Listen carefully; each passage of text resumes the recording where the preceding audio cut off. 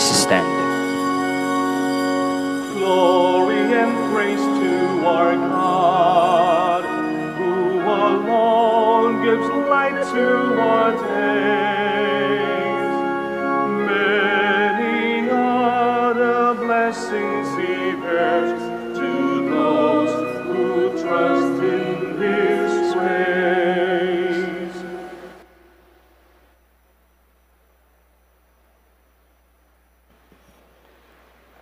In the name of the Father, and of the Son, and of the Holy Spirit. Amen.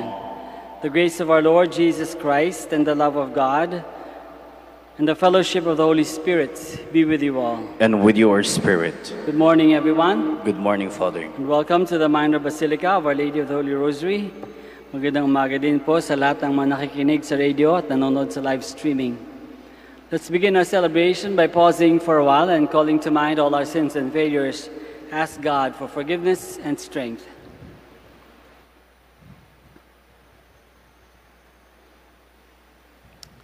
I confess to Almighty God and to my brothers and sisters, that I have greatly sinned in my thoughts and in my words, in what I've done and in what I've failed to do.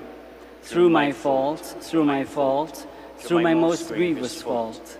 Therefore I ask Blessed Mary, ever Virgin, all the angels and saints, and you, my brothers and sisters, to pray for me to the Lord our God. May Almighty God have mercy on us, forgive us our sins, and bring us to everlasting life. Amen. Let us pray.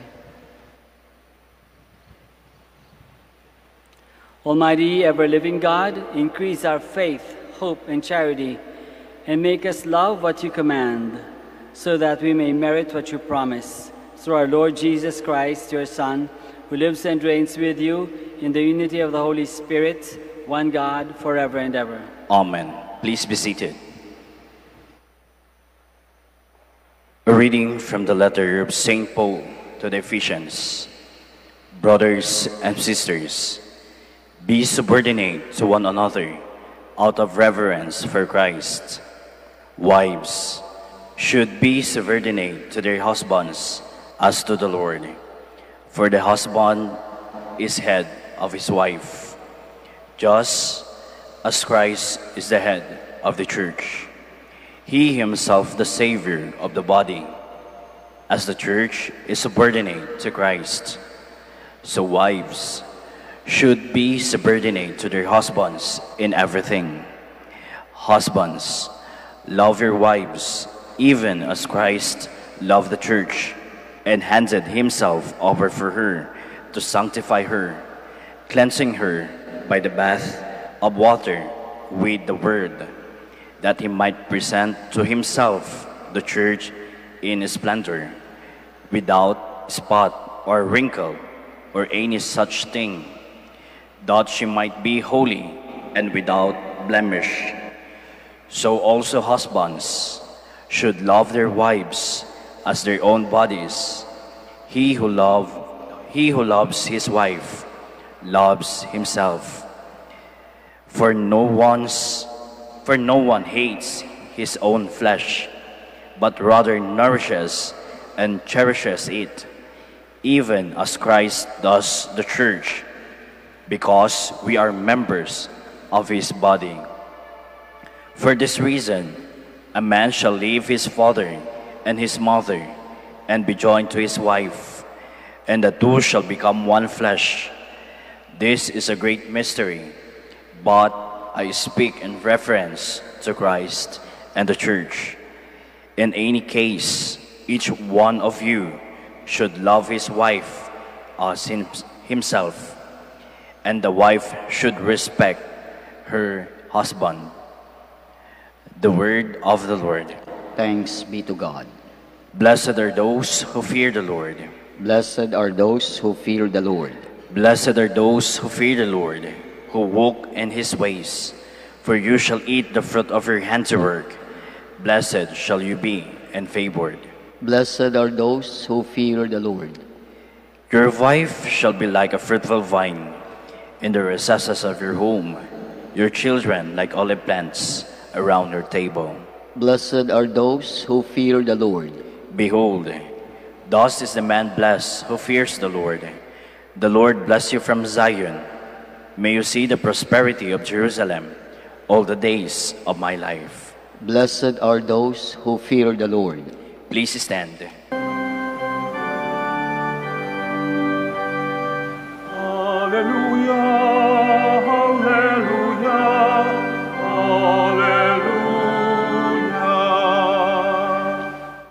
Blessed are you, Father, Lord of heaven and earth. You have revealed to little ones the mysteries of the kingdom. Hallelujah, hallelujah, hallelujah. The Lord be with you. And with your spirit, A reading from the Holy Gospel according to Luke. Glory to you, O Lord. Jesus said, What is the kingdom of God like? To what can I compare it? It is like a mustard seed that a man took and planted in the garden. When it was fully grown, it became a large bush, and the birds of the sky dwelt in its branches. Again he said, To what shall I compare the kingdom of God? It is like yeast that a woman took and mixed in with three measures of wheat flour until the whole batch of dough was leavened. The Gospel of the Lord. Praise to you, Lord Jesus Christ. Please be seated. Magandang umaga po ulit sa inyong lahat, lalong-lalo na sa mga nakikinig sa radio at nanonood ng live streaming. Kaharian ng Diyos, kaharian ng langit, buhay na walang hanggan. Lahat yan, isa lang ang tinutukoy, ang punot dulo ng ating existence, ang kaharian ng Diyos. Sa Diyos tayo nanggaling. Sana, sa Diyos din tayo babalik. The kingdom of God, the kingdom of heaven. God, our beginning, our end. Kaya nga, napaka-interesting na paminsan-minsan binibigyan tayo ni Jesus ng idea kung ano nga ba ang kaharian ng Diyos. Ano nga ba ang kaharian ng langit? So sa gospel na binasa natin ngayong umaga, nagbigay si Jesus ng dalawang images para ipaliwanag sa atin ang kaharian ng Diyos. Una, sabi niya, ang kaharian ng Diyos daw ay parang mustard seed, buto ng mustasa. Siguro kahit anong buto. Maraming kailangan mangyari para matupad ang mission ng mustard seed, para matupad ang existence ng mustard seed. Kailangan siyang itanim, unang-una, pinaka-importante siguro, kinakailangan itanim ang mustard seed, ilibing sa lupa, mawala sa ating pananaw dahil nakalibing. Tayo man, kung tayo ay mapupunta sa karya ng Diyos o mag enjoy ng karya ng Diyos, kailangan ding mawala paminsan-minsan. Hindi tumawag ng atensyon, ay kailangan tayo hindi tumawag ng atensyon sa ating sarili para ang Diyos ang magiging bida. Sa kaharian ng Diyos, ang Diyos ang bida. Dahil habang ang kaharian ng langit ay para sa atin, ito, ay, ito naman ay tungkol sa pakikiisa sa Diyos. Pakikiisa sa Diyos. Kailangan ding alagaan ang mustard seed na itinanim. Kailangan diligan, paarawan, tanggalan ng tuyong dahon at iba pa para ito tumubo ng, at magyabong at mabahayan ng mga ibon. Ang kaharian ng Diyos na tinanim rin sa ating puso ay kailangan ng tamang pag-aaruga para magyabong. Maalagaan natin ito sa pagdarasal, sa pagbabasa at pagmumuni-muni sa salita ng Diyos. Kaya nga sa misa, lagi mayroong binabasa at pinapaliwanag na salita ng Diyos. Sa pag-iisip, pag-iisip at paggawa at pagsalita ng mabuti. So pwede nating tanongin ating sarili, nabibigyan ba natin ng karapat dapat na halaga ang kaharian ng Diyos sa ating buhay? sa ating araw-araw na buhay? Nabibigyan ba natin ng halaga ang kaharian ng Diyos? Inaalagaan ba natin ito? Inaalagaan ba natin ito? Ang pangalawang image ng kaharian ng Diyos na binigay ng, ng Panginoon ay yeast. Yeast. Hindi ko alam kung anong sa Tagalog yung yeast. Na kailangan itong ihalo at itago sa harina para magpaalsa ng masa na gagawing tinapay. Tulad ng mustard seed na itinanim sa lupa, ang yeast din ay kailangang ihalo, ihalo sa loob ng harina para matupad ang misyon nito. Sa tunay na buhay man, kailangan tayo na mawala, maihalo sa marami upang tumubo ang kaharian ng Diyos. Hindi lalago ang kaharian ng Diyos kung nakatago lang. Kailangang ihalo sa iba para matupad ang misyon nito. Ang maisawalat sa buong mundo ang kadakilaan at kabutihan ng Diyos. So, tanong natin sa ating sarili, nakikilala ba natin o nakikilala ba ng iba ang kaharian ng Diyos sa pamumuhay natin?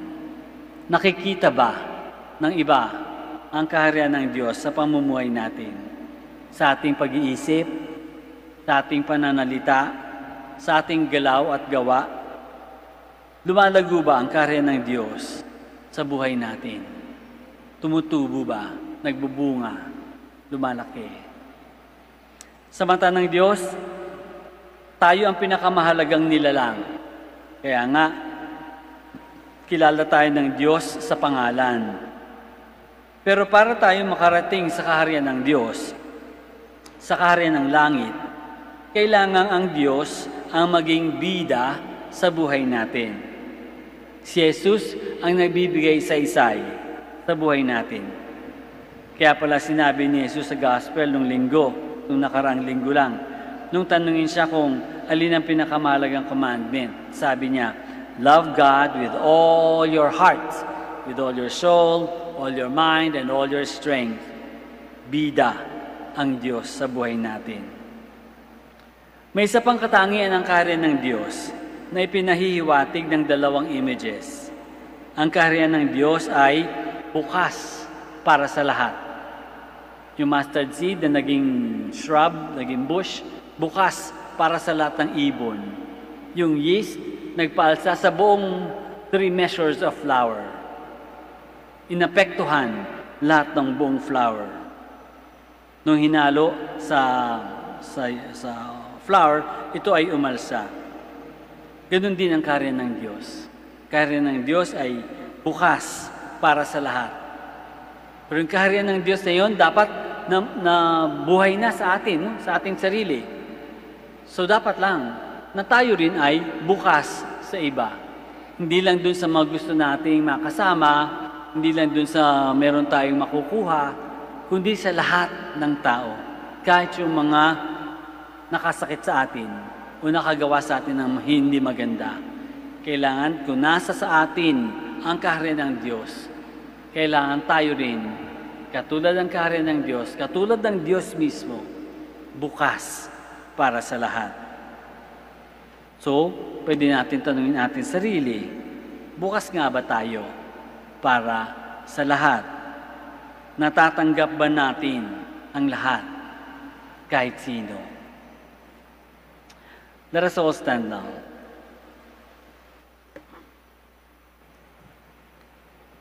Like a great tree with flourishing branches, or like a seed quietly growing, so the kingdom of God spreads. We make our prayers together as our share in that loving plan of divine providence. After each petition, we say, Lord, hear our prayer. Lord, hear our prayer, that the church may continue to grow by welcoming and redeeming human cultures and values. Let us pray to the Lord Lord, hear our prayer. that those involved in economic development programs may support farmers and may those who develop the land protect and respect the natural environment. Let us pray to the Lord Lord, hear our prayer. that our families, especially our children, may grow in the ways of grace and mature into Christ like people, let us pray to the Lord.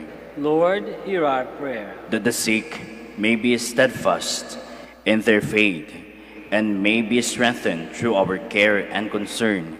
Let us pray to the Lord. Lord, hear our prayer. That our beloved dead may enjoy the peace of God's kingdom. Let us pray to the Lord. Lord, hear our prayer. Let us pray for our own personal intentions and for the special intentions of this Mass. We pray to the Lord. Lord, hear our prayer. Heavenly Father, help us to grasp the importance of the time in which we are living. Open our hearts to your word so that we may always bear fruit. We ask this through Christ our Lord. Amen. Please be seated.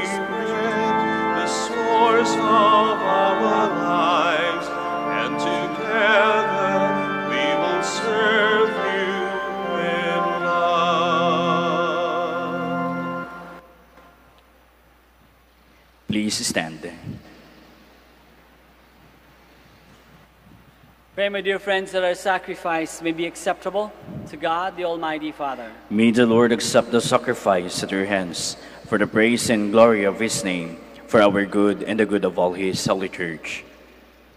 Look, we pray, O Lord, on the offerings we make to your majesty, that whatever is done by us in your service may be directed above all to your glory, through Christ our Lord. Amen. The Lord be with you. And with your spirit, Lift up your hearts. we lift them up to the Lord. Let us give thanks to the Lord our God. It is right and just. It is truly right and just our duty and our salvation, always and everywhere, to give you thanks, Lord, Holy Father, Almighty and Eternal God. For in goodness you created us, and when we were justly condemned, in mercy you redeemed us through Christ our Lord. Through him the angels praise your majesty, dominions adore, and powers tremble before you. Heaven and the virtues of heaven and the blessed seraphim worship together with exultation. May our voices, we pray, join with theirs in humble praise as we acclaim.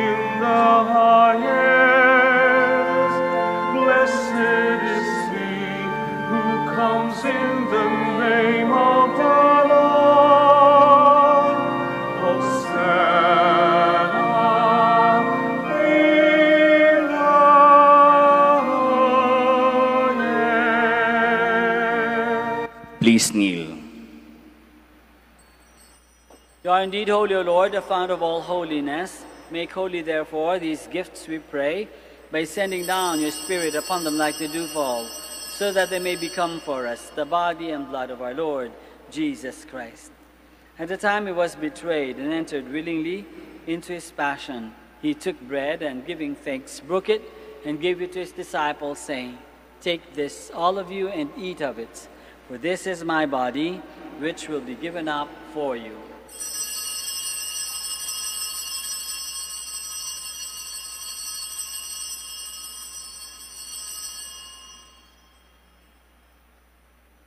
In a similar way, when supper was ended, he took the chalice, and once more, giving thanks, he gave it to his disciples, saying, Take this, all of you, and drink from it.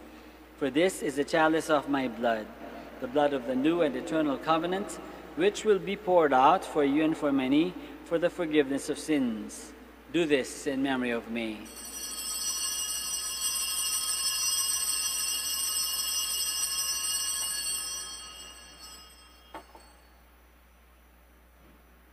The mystery of faith. When we eat this bread and drink this cup, we proclaim your death, O Lord, until you come again.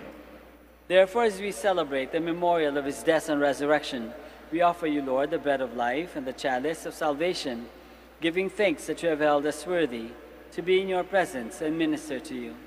Humbly we pray that partaking of the body and blood of Christ, we may be gathered into one by the Holy Spirit. Remember, Lord, your church spread throughout the world, and bring her to the fullness of charity, together with Francis our Pope, and Socrates our Bishop, and all the clergy. Remember also our brothers and sisters who have fallen asleep in the hope of the resurrection, and all who have died in your mercy. Welcome them into the light of your face. Have mercy on us all, we pray, that with the Blessed Virgin Mary, Mother of God, with Saint Joseph, her most chaste spouse, with the blessed apostles and all the saints who have pleased you throughout the ages, we may merit to be co heirs to eternal life, and may praise and glorify you through your Son, Jesus Christ. Through him, and with him, and in him, O God Almighty Father, in the unity of the Holy Spirit, all glory and honor is yours forever and ever. Amen. Please stand. Let us pray now to our Father in heaven in the words that our Lord Himself has taught us.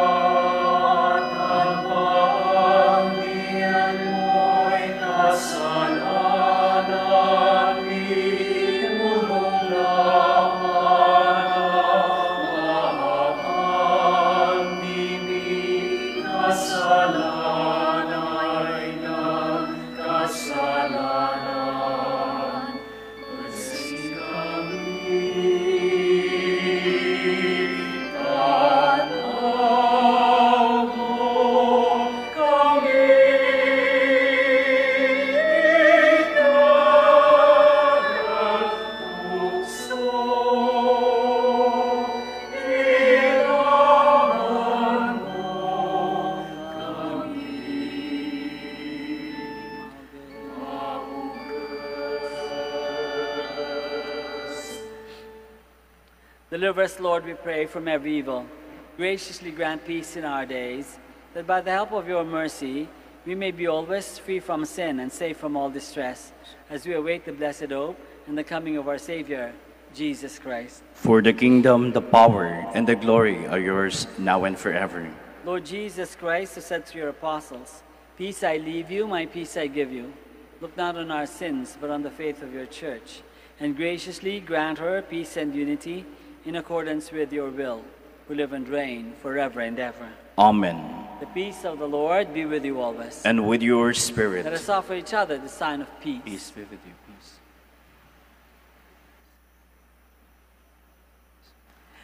Lamb of God, You take away the sins of the world. Have mercy on us. Lamb of God, you take away the sins of the world. Have mercy on us. Lamb of God, you take away the sins of the world. Grant us peace. Please kneel.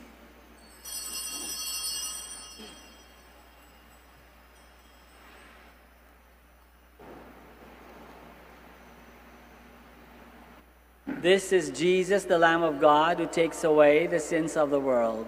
Happy are we who are called to this banquet. Lord, I am not worthy that you should enter under my roof, Only but only say the word, and my soul shall be healed.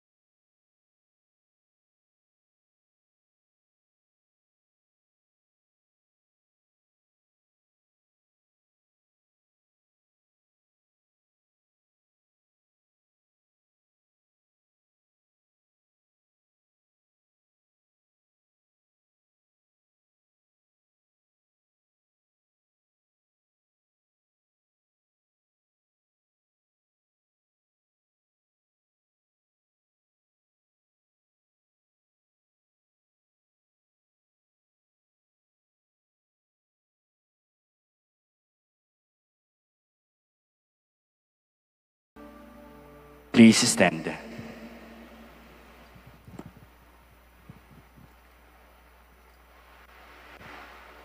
Let us pray. May your sacraments, O Lord, we pray, perfect in us what lies within them, that what we now celebrate in signs we may one day possess in truth through Christ our Lord. Amen. Please kneel. Please join me as we play the orat- pray the Oratio Imperatum. God our Father, we come to you in our need to ask your protection against the COVID 19 that has claimed lives and has affected many. We pray for your grace for the people tasked with studying the nature and cause of this virus and its disease, and of stemming the tide of its transmission. Guide the hands and minds of medical experts that they may minister to the sick with competence and compassion, and of those governments and private agencies that must find cure and solution to this pandemic. We pray for those afflicted. May they be restored to health soon. Grant us the grace to work for the good of all and to help those in need. Grant this to our Lord Jesus Christ, your Son, who lives and reigns with you in the unity of the Holy Spirit, God, forever and ever. Amen. Mary, help of all Christians. Pray for us. Saint Raphael the Archangel. Pray for us. San Roque. Pray for us. San Lorenzo Ruiz. Pray for us. San Pedro Calungsod. Pray for us. Please stand. Maraming salamat po sa inyong lahat sa pakikisa dito sa ating Santa Misa. The Lord be with you. And with your spirit. May Almighty God bless you all, the Father and the Son and the Holy Spirit. Amen. Mass is ended. We go in the peace and the love of Christ. Thanks be to God. We now bless the sick and pray for your religious articles. Our help is in the name of the Lord. Who made heaven and earth. Let us pray. God, our Almighty Father, by your blessing, you give us strength and support in our frailty. Turn with kindness toward our sick brothers and sisters. Free them from all illness and restore them to good health through the intercession of Our Lady of the Rosary of Manaoag, so that in the sure knowledge of your goodness, they will gratefully bless your holy name. We ask this through Christ our Lord Amen. in memory of the mysteries of the life, death, and resurrection of our Lord Jesus Christ, and to the honor and glory of the Blessed Virgin Mary, Mother of Christ, Mother of the Church, Our Lady of the Rosary, may all these articles be blessed, and those who use them made holy as they fulfill the will of God according to the example of the Blessed Mother. In the name of the Father, and of the Son, and of the Holy Spirit. Amen.